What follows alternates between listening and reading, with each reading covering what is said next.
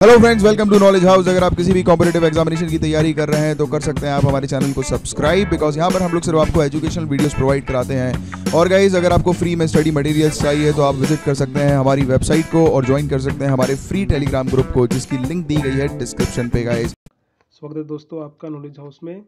चलिए शुरू करते हैं एक अनदर इम्पोर्टेंट जजमेंट यानी कि reservation in promotion for S C इस केस का जो नाम है एक्चुअल में वो है Jarnail Singh and others versus Lakshmi Narayan Gupta and others. इसको सुप्रीम कोर्ट ने रिसेंटली डिसाइड किया है कॉन्स्टिट्यूशन बेंच ने। और चलिए हम डिस्कस करते हैं कि कोर्ट ने कौन कौन से कॉन्स्टिट्यूशनल प्रोविजंस को इसमें डिस्कस किया है और क्या क्या जजेस ने कहा है।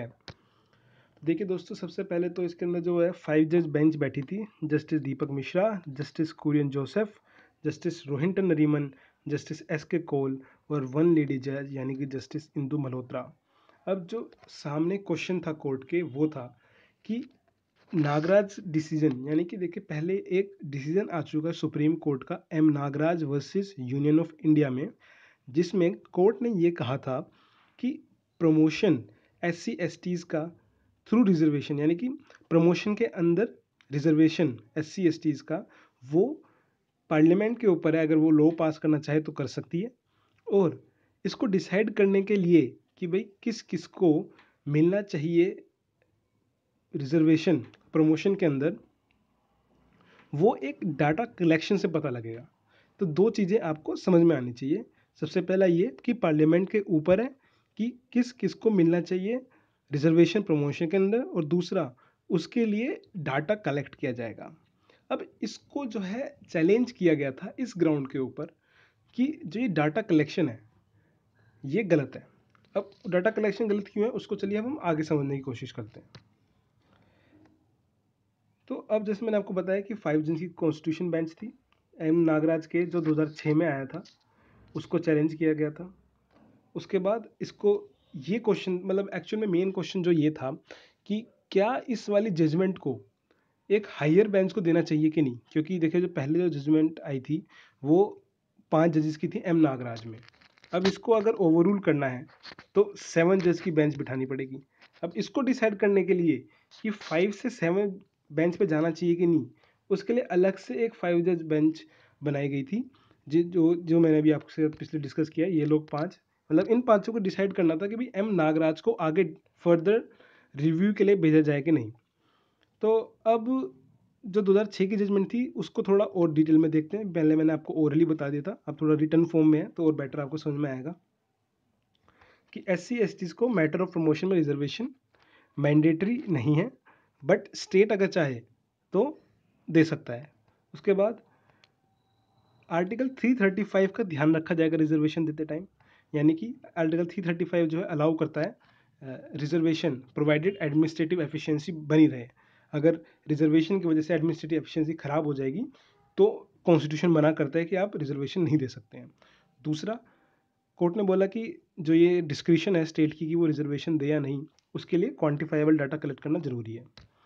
जैसा कि मैं भी आपसे डिस्कस करा था आर्टिकल थ्री थर्टी फाइव के बारे में तो ये कहता है कि जो क्लेम्स हैं एससी और एस के, कि उनको रिजर्वेशन मिलना चाहिए या फिर वो एस या फिर एस हैं, वो इस चीज़ के साथ कंसिस्टेंट होना चाहिए कि maintenance of efficiency of administration यानी कि efficiency of administration under article three thirty five preserve की गई है कि कॉन्स्टिट्यूशन मेक श्योर करता है कि रिजर्वेशन जो है काम काज को ख़राब नहीं करेगा। उसके बाद अब जजमेंट पे आते हैं। तो जस्टिस नरीमन ने जो है क्लैरिफाई किया है कि जो ये क्वान्टिफाइबल डाटा है, यानी कि डाटा कलेक्ट करना एस सी के लिए, वो बिल्कुल गलत है। उनका ये कहना है कि वही कॉन्स्टिट्यूशन के अंदर एस सी और एस को एक स्पेशल दर्जा मिला हुआ है, एक अलग स्टेटस मिला हुआ है।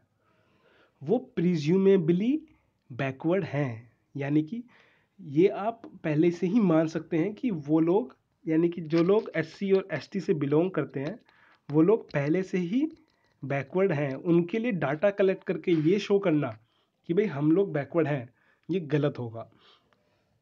तो इस चीज़ के रेस्पेक्ट में नागराज को जो है रिवर्स किया गया है। इस पर्टिकुलर पार्ट के लिए ही। लेकिन दूसरा पार्ट जैसे कि आर्टिकल 335 यानी कि भाई एफिशिएंसी बनी रही चाहिए। अगर आप रिजर्वेशन दे रहे हैं तो ये बिल्कुल अभी तक अफेल्ड किया गया है इस केस में। और सबसे इम्पोर्टेंट बात जो अफेल्ड की गई है, वो ये कि प्रमोशन के मामले में पार्लियामेंट ही डिसाइड करेगी। यानी कि it is the discretion of the parliament उनकी मर्ज़ी है। और ये मैंडेटरी नहीं है उनके ऊपर कि वो रिजर्वेशन दे या ना दे। आगे बढ़ते हैं। इसमें स्टेट का क्या कहना था? यानी कि प्रेजेंट गवर्नमेंट का क्या स्टैंड था कोर्ट में? थोड़ा उस पर देखते हैं। देखिए, जो हमारे अटर्नी जनरल है के के वेणुगोपाल, उन्होंने ये बोला था कि एम एम नागराज की जजमेंट है, वो एक लार्जर बेंच यानी कि सेवन जज बेंच या फिर नाइन जज बेंच के द्वारा कंसिडर किया जाना चाहिए। क्यों? क्योंकि सॉरी क्योंकि जो क्रीमी लेयर का कंसेप्ट है और प्रिजम्पशन ऑफ़ बैकवर्डनेस है, वो उनके ऊपर अप्लाई नहीं होता है। यानी कि प्रिजम्पशन ऑफ़ बैकवर्डनेस तो उनके ऊपर हमेशा रहेगी, इसको अपहेल्ड भी किया है रिसेंट जजमेंट ने।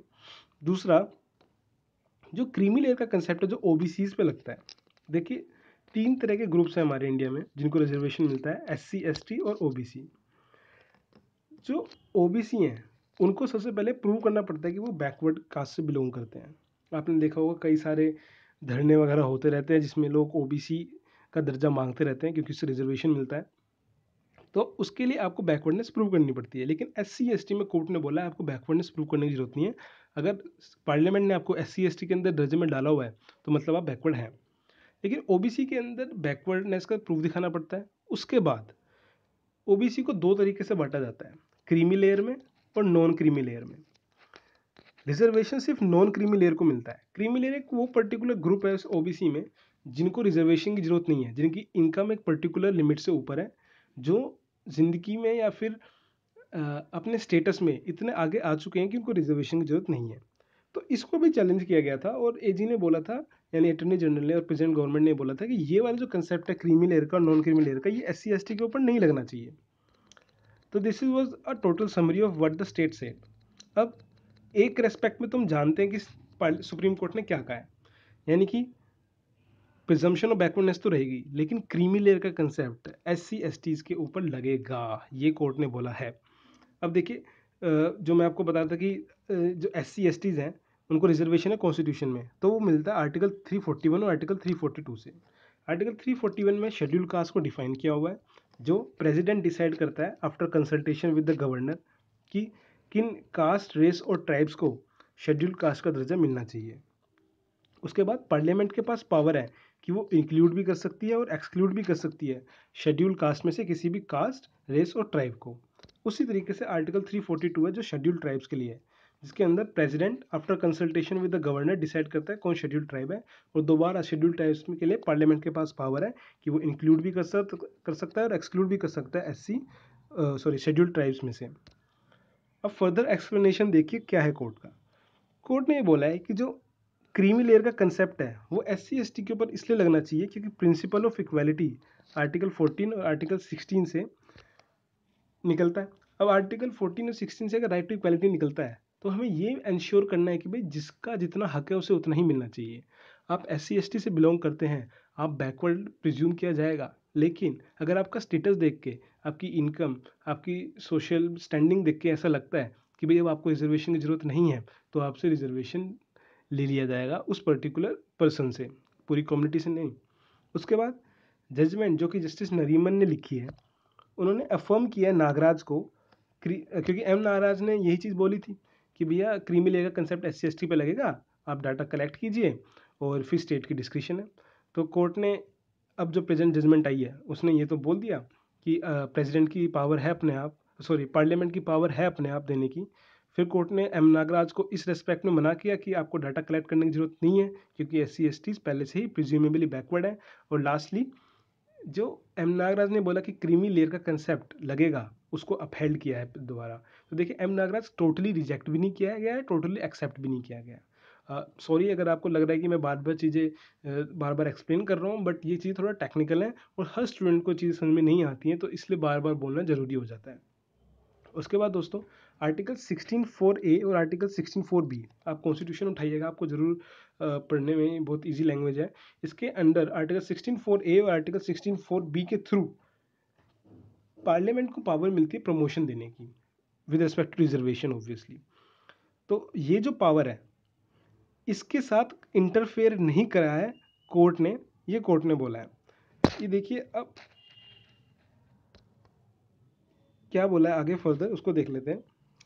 जो आर्टिकल 14 एंड 16 है, जो मैंने आपको बोला राइट टू इक्वलिटी देता है, उसको हारमोनियसली यानी कि उसके साथ रीड करना है आर्टिकल 341 342 के साथ। 341 342 मैंने आपको बताया एस सी एस टी तो एस सी एस टी का दर्जा मिलना राइट टू इक्वलिटी के साथ आएगा। हर किसी को नहीं मिलेगा एस सी एस टी का दर्जा जो क्रीमी लेयर में हैं, जो सोशल स्टेटस में आगे हैं इकोनॉमिक पावर में आगे हैं, उनको जो है अब एस सी का जो रिजर्वेशन का फ़ायदा है, वो नहीं मिलेगा।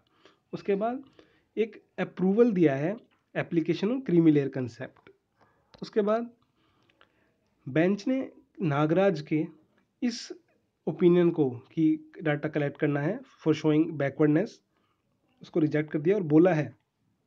फर्दर क्या बोला है?